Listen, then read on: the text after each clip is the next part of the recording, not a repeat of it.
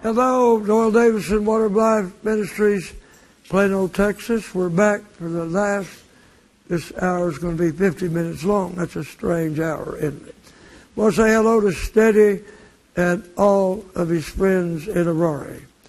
We have a very interesting uh, 50 minutes coming up. Okay, the D's going to read the fifth chapter of First Thessalonians. Verse 1 But of the times and, of, and the seasons, brethren, you have no need that I write unto you. For you yourselves know perfectly that the day of the Lord so cometh as a thief in the night. Amen. For But when, he's coming. right. Let's go. For when they shall say peace and safety, then sudden destruction cometh upon them, as travail upon a woman with child, and they shall not escape. But ye, brethren, are not in darkness, that that day should overtake you as a thief. Thanks for reading. I will promise you, people, I'm convinced that those days are approaching. Amen. Next. Verse 5 You are all the children of light, and the children of the day. We are not of the night, nor of darkness. Therefore, let us not sleep as do others, but let us watch and be sober. Amen. For they that sleep, sleep in the night, and they that be drunken are drunken in the night. But let us who are of the day be sober, putting on the breastplate of faith and love, and for our helmet the hope of salvation. 9. For God hath not appointed us to wrath, but to obtain salvation by our Lord Jesus Christ, Thank God. who died for us, that whether we wake or sleep, we shall live together with him. Wherefore, comfort yourselves together, and edify one another, even as also you do. And we beseech you, brethren, to know them which labor among you, and are over you in the Lord, and admonish you, and to esteem them very highly in love, Oh, you hear that? Wow. Go ahead. for their work's sake, and be at peace among yourselves. 14. Now we exhort you, brethren, warn them that are unruly, comfort the feeble minded, support the weak, be patient toward all men. See that you none render evil for evil unto any man, but ever follow that which is good, both among yourselves and to all men. 16. Rejoice evermore. Oh, now we're getting into the real tough stuff. Rejoice evermore. Next. Pray without ceasing. Oh, now pray without ceasing. One hour, three times a week. Let's go. 18. In everything give thanks, for this is the will of God in Christ Jesus concerning you. In everything, give thanks. For this is the will of God concerning you. I'll be talking here in a few minutes how God taught me that verse and to be a doer of it and not a reader only. Next. 19. Quench not the spirit, despise not prophesying. Prove all things, hold fast that which is good, abstain from all appearance of evil. And the very God of peace sanctify you wholly.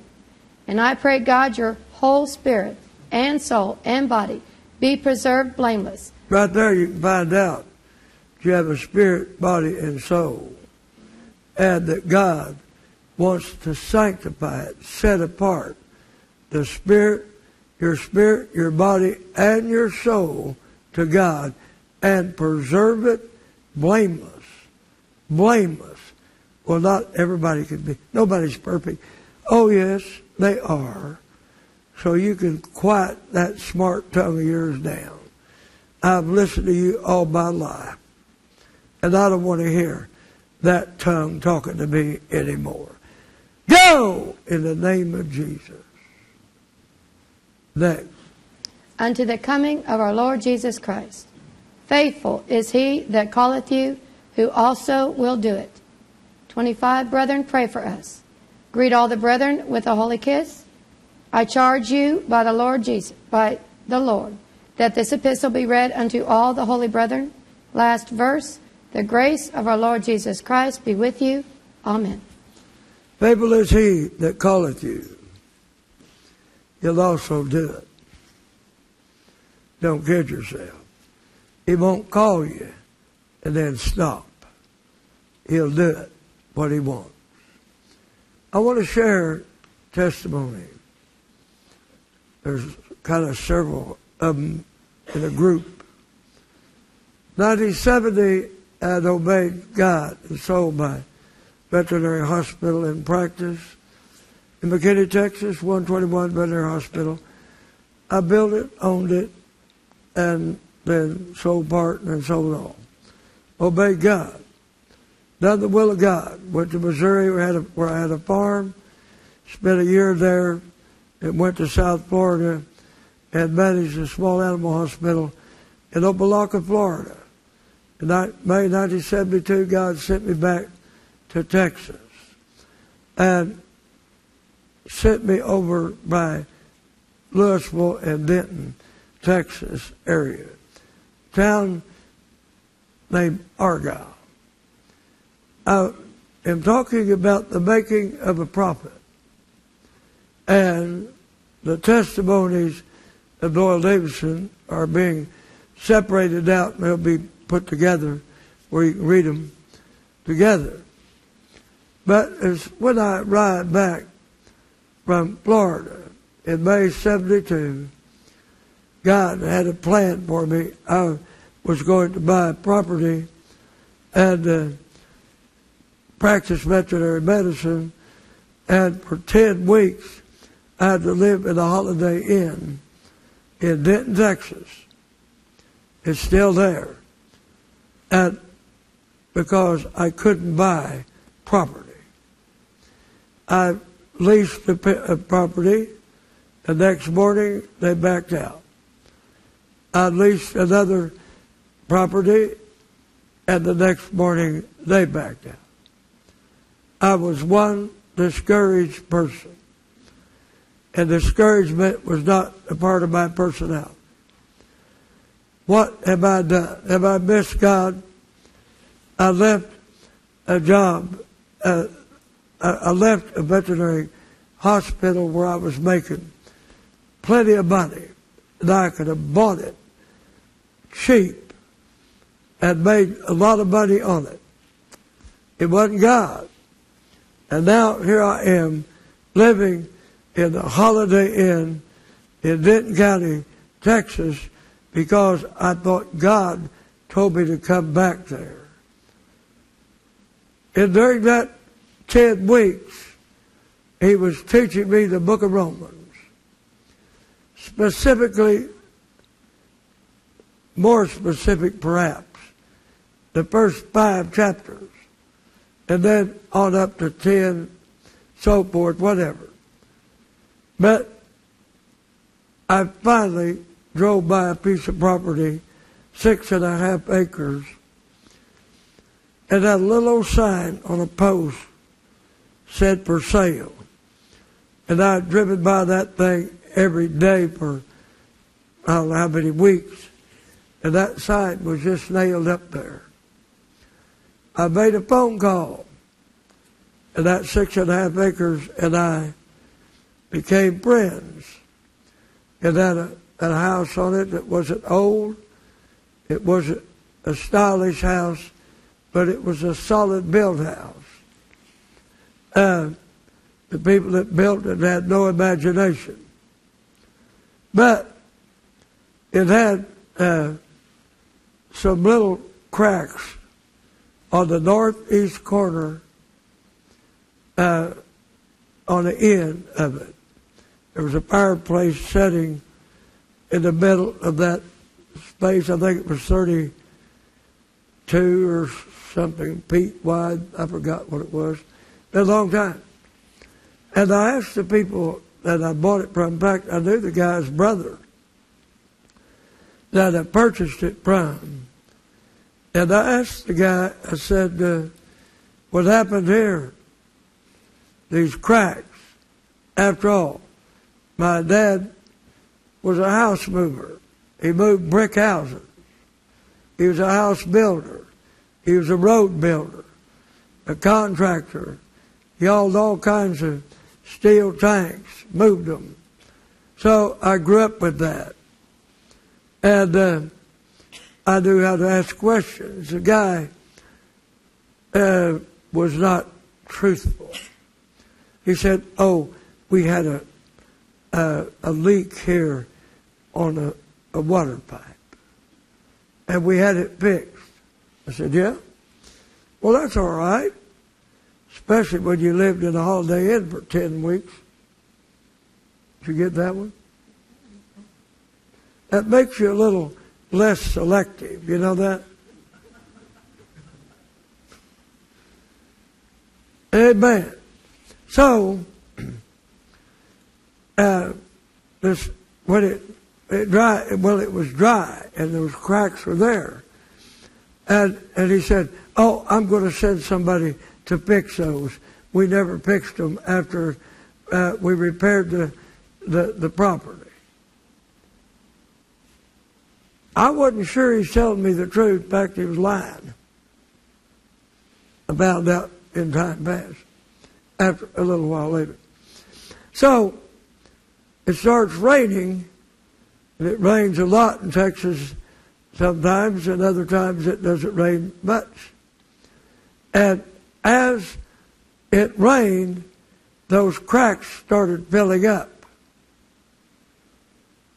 And I said, What have I done?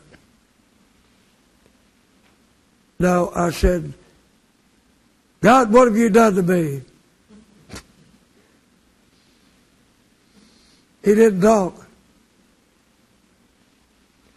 So, the cracks are full. We go through the winter, summer returns, the cracks begin to return. I was not a happy veterinarian, let me tell you. But that was the reason I was there, to get the unhappiness out of me. I finally, I finally determined partially what was wrong. The two beams on the one on the north one on the south were broken about 10 feet back because that fireplace setting on a cross beam on the east end. I couldn't understand why that thing would correct itself when it rained a lot with a fireplace there. That thing's heavy. But after the second year, I said, I've got to find what this is. I was one disturbed person. You can't sell property without disclosing those kinds of damages or actions without paying for them. I talked to God. And one day, 1974, I guess, no, five, 75,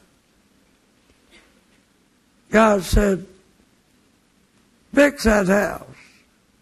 I said, I can't fix that house. Oh, yes, you can. See, I had experience and a lot of it. I didn't want to fix that house.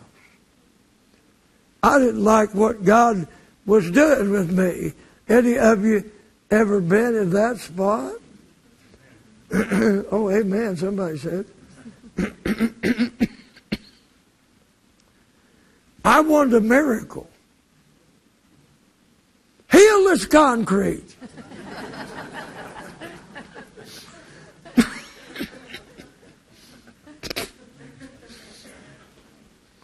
I prayed every dumb prayer you can imagine. Nothing happened. God said, fix it. You know how. And I did know how. But I did. After all, I'm a veterinarian. And I am not in the construction or concrete contracting business, nor do I know anything about running a backhoe. I didn't want to learn. I'd never run a backhoe in my life. So, I finally said, okay, I'm going to fix this thing. I told Miss Patty, she's in heaven now. that probably helped her get there. she, she was unhappy with me. Oh, my Lord. But more than one person been unhappy with me. And uh, God said, in everything give thanks. Well, this is the will of God concerning you. I said, You mean I have to thank God for this? Oh, yeah. You mean I have to thank God that these beams are broken? And that this, this house floats on water when there's enough there? Up and down? Thank God. I was not one bit happy. But listen, I started getting happy. You can complain, kick, rant, rave, do what you want to, but I will tell you now, you will never get God's attention with that.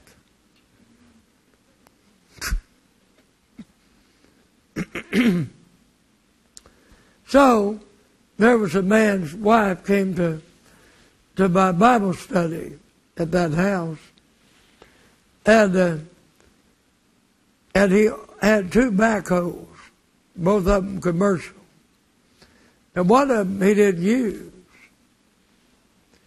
and uh, so he came up to see me one day. The guy kind of liked me, and he didn't like what I was, he didn't like what I taught his wife, but he liked me but it's just God. And uh, was talking to me about that backhoe, and he said, if you want to fix this house, I'll dig, I'll dig out across, I think it was 36 feet wide, and 10 to 12 feet back uh, to the west on the on the front and the back, north beam, south, south beam. I said, okay.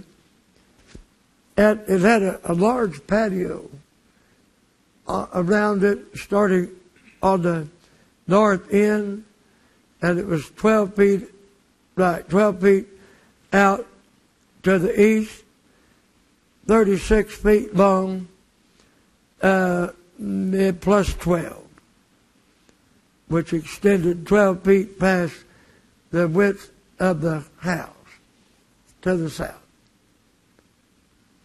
And it had downspouts on it, and those downspouts uh, drained into pipes that he had put under this patio. I could not understand how this thing wasn't working. Anyway, I, got me a concrete saw Got a jackhammer? Yes, I can run a jackhammer. That's not a problem. If you're not upset.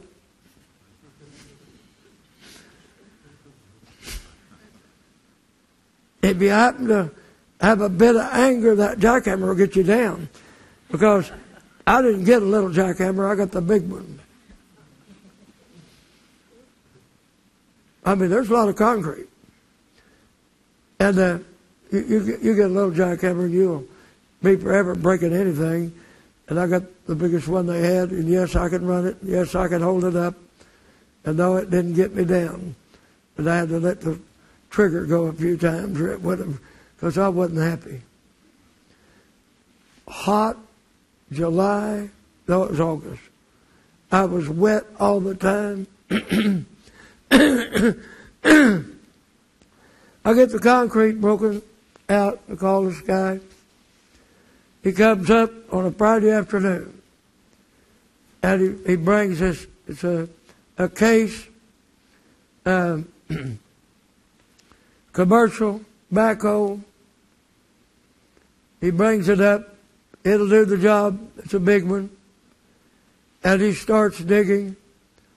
And in about 30 minutes after he started, hydraulic hose ruptured. I think that was a child saying, ooh. May have been a big child. It's okay. That's what I thought. But he said, no, this is a commercial, and you can't buy these anywhere except in Dallas. I said, yeah. He said, I've got to go to Dallas to get it, but I'll be back. He had a habit that I didn't like. He didn't show up till Monday, but I wasn't going to wait till Monday. And I, by that time, I always had pretty good control of my emotions. By that time, I made sure I had good control. I didn't know anything about a backhoe, about running one. But there was a Ford dealership over on 35 south of Denton. Ford tractor. And I took that ruptured hydraulic hose for a case about 30, 30 inches long maybe. Took it over there just hoping. No, I know now it was God. Hoping that those things were not uh, specifically made like this guy told me. You have to have this hose to go here, this hose to go there, this go there. So I go over there, I walk in, I lay this up on the counter, this hose, open that case, and the guy stood there and looked at that a minute and said, Let me have that hose. And he walked back to a door I could see, and he crawled up on a shelf and reached up on top and pulled this hose off. Now, these hoses are made right at, for right and for left. Left won't fit right, right won't fit left. And he laid that thing up there on that desk, on that counter. He said, Someone came in here two years ago and ordered this hose.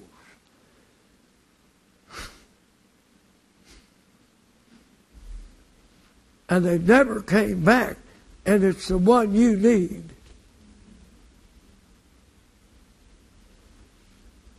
Mm.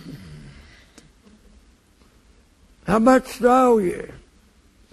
Happy went back, put it on, put some blood in that hydraulic.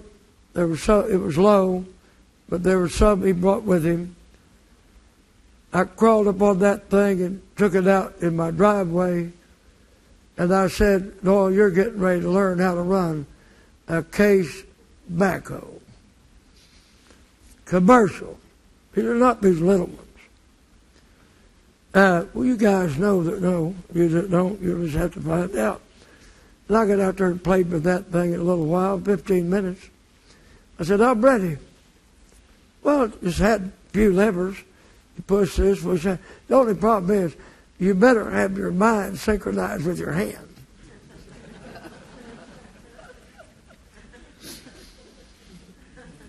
Amen. Um,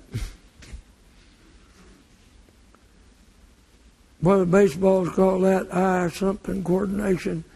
Anyway, baseball player. Um, I started digging, and I was careful because I mean this bucket's heavy. You slam it in there, and going to right, going right, and you're supposed to be going left. And but I I got that thing dug out four feet wide, six feet, six feet wide, no, four feet wide, six feet deep, all down the end, and and down the north side were 10 to 12 feet, the south side 10 to 12 feet, and it's not. Oh, by the way, I was working on the Sabbath.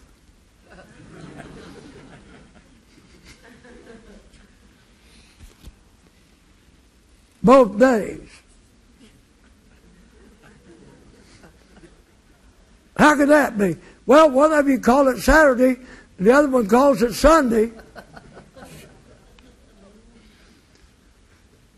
That was confusing to me, but God calls the Sabbath Saturday. You know, He's the one that said it was Saturday.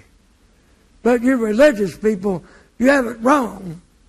You say, well, I heard some person say, uh, Sunday, that's a an analog or something to Saturday. I thought, oh, you guys, you come up with anything. Anyway, this guy comes up here on Monday morning. He said, uh, who did this? I said, I did.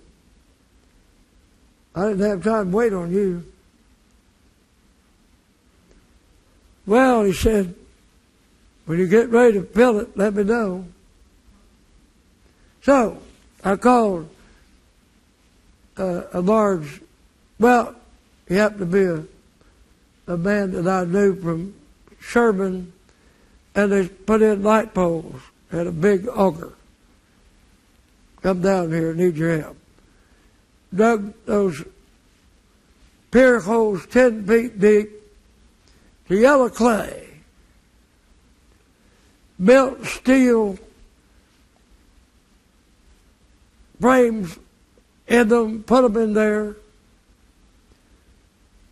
got it all dug out, fixed, and my dad, being a house mover, had all kinds of big house jacks. I said, Dad, need your help. No, I'm busy. I know you are in Argyle. You've got to help me. He said, I'll be there. He came, we jacked the end of that house up two and three quarters inches, and I had all the steel in place. I called the concrete people. You're going to like this one. I called the concrete man to pour the concrete, and somehow my bank account was messed up, which was rare. It ever was. And I found it out, but you know what the guy did that brought the concrete? He forgot to cash that thing and put it in his wallet for almost three months. Yeah. Amen. And every day I expected the bank to call me. We got that all poured. House was fixed. Took me two weeks to do it. And I pushed all the dirt back and made rose beds four feet wide instead of patio. That's where I started raising roses. And pushed the last dirt in. It rained four inches that night. If that trench would have been open, I'd have been in more trouble than you could imagine. By now, I'm thanking God better. I'm more thankful I'm more thankful when the last dirt went in than I was when I was cutting up the concrete. Because I knew God had saved my life, or a lot of money. Probably wouldn't have killed me, but I'd have thought so. Amen. That was a remarkable thing to me. But did you know that property, that house, sat there it never moved. It never moved. That property sold. And I told a very nice house with style is on that six and a half acres. Thank God. But I'm learning what God can do with someone that will obey Him. And in the process of obeying Him, you're going to change. And you're going to become more sanctified, separated to God. I have one more thing to say.